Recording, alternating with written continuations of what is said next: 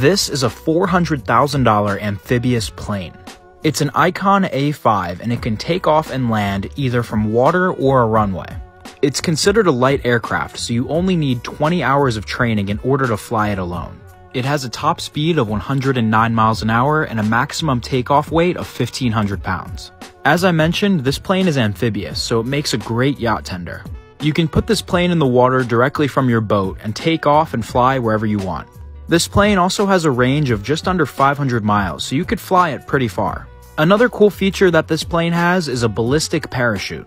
If you ever have engine failure or any kind of trouble, a parachute will deploy from the top of the plane, safely bringing you to the ground.